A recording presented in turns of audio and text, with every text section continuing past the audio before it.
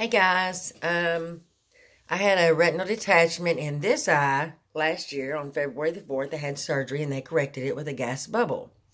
Um, they take you to surgery and they put a gas bubble in your eye and you have to sleep with your head positioned a certain kind of way. Um, I had to sleep sitting up um, for 12 days and my bubble was gone and I could see fine. Uh, each day that the bubble went down, I could see over the bubble and it was clear, perfect vision.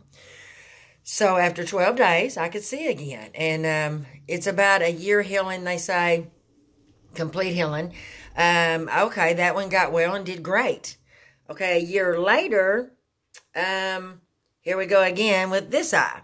Okay, so I go on, um, well, actually, I, it happened on December 2nd.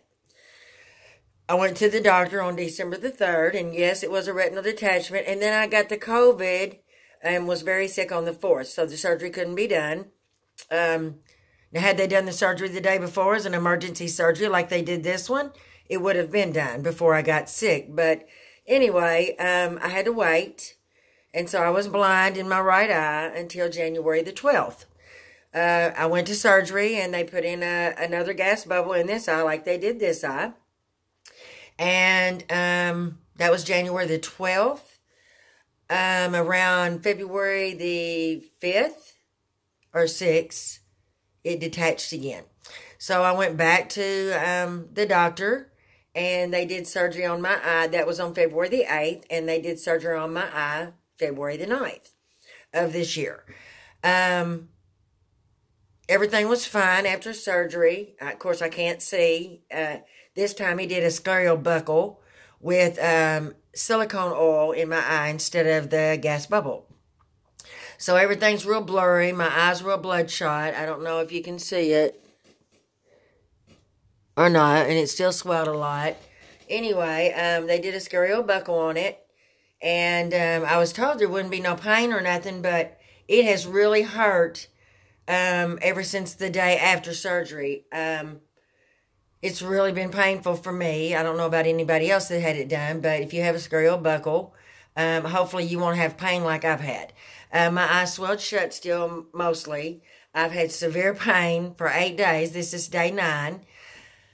Um, since the surgery, since the day of surgery. I still can't see. I go back to the doctor Friday, the 18th, to see where we're at.